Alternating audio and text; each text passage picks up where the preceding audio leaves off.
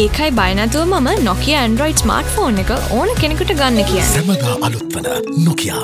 Former Minister of Health Dr. Rajitha Senaratne took centre stage during the time of the presidential election when he convened a media briefing with two other individuals on the existence and crimes perpetrated with the use of white vans. The two individuals who accompanied the former minister at the time claimed to be responsible for playing their part in white van kidnappings. However, after investigations revealed that they had been influenced by the ex minister to take the fall, the Colombo Magistrates Court issued an overseas travel ban on the former minister upon the request made by the Criminal Investigation Department. Meanwhile, an arrest warrant was issued by the Colombo Additional Magistrate yesterday, taking into consideration the submissions made by Deputy Solicitor General Dileepa Peiris. The CID, however, attempted to arrest the ex minister at his residence in Colombo, but he wasn't there.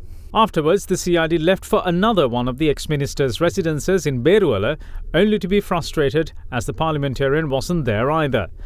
They, however, recorded statements from persons who were present at the residence. With an arrest warrant issued and the former minister nowhere to be found, a few parties had their say on the matter. අධිකරණය මගින් ඊයේ අභියෝග කරා රාජිත සේනාරත්න මහත්තයා අත්අඩංගුවට ගන්න කියලා.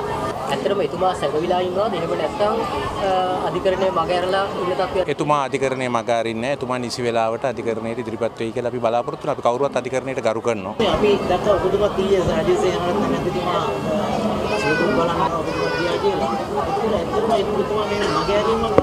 එතුමාට 30 වෙනිදා වෙනකන් අවස්ථාව තිබුණා. උසාවියට අනුවම. ඉතින් එතුමා ඒ නිසි ආකාරයට වරන්තුවක් උන් පමණින් මේ කරන්න අවශ්‍ය නැහැ. කිසිම දේශපාලන පරිගැනීමක් නැහැ. වැරද්ද කවුරු කළත් මම කළත් ඔබ කළත් කවුරු කළත් එක රටක් එක නීතියක් යටතේ තමයි ක්‍රියාත්මක වෙන්නේ. කාටවත් විශේෂ වරප්‍රසාද වරදාන නැහැ. මේවයෙන් රාජනත්මැතුමා බය වෙන්නේ නැහැ.